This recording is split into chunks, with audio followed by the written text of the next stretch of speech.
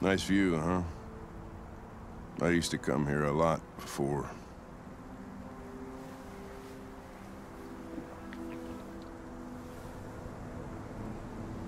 It's late. Maybe you should go home. I'm not tired. Guess neither are you.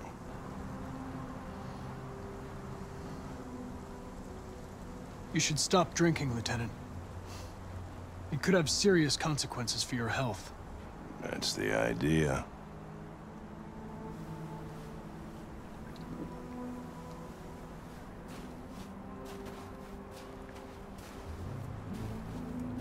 We're not making any progress on this investigation. The Deviants have nothing in common. They're all different models, produced at different times, in different places. Well, there must be some link.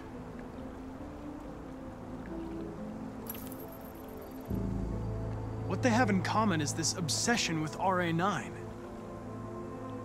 It's almost like some kind of myth. Something they invented that wasn't part of their original program. Androids believing in God.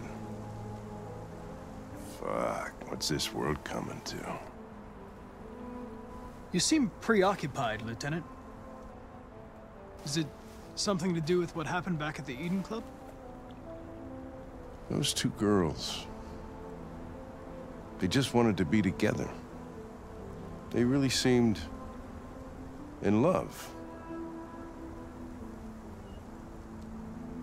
They can simulate human emotions, but they're machines. And machines don't feel anything. What about you, Connor?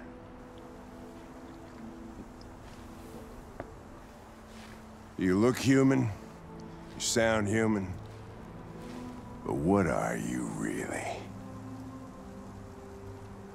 I'm whatever you want me to be, Lieutenant. Your partner? Your buddy to drink with? Or just a machine? Designed to accomplish a task. You could have shot those two girls, but you didn't. Why didn't you shoot Connor? Some scruple suddenly enter into your program? No. I just decided not to shoot. That's all.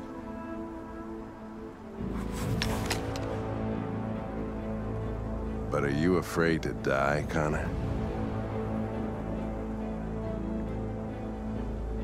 I would certainly find it regrettable to be interrupted before I can finish this investigation. What'll happen if I pull this trigger? Hmm? Nothing? Oblivion? Android heaven? Nothing. There would be nothing.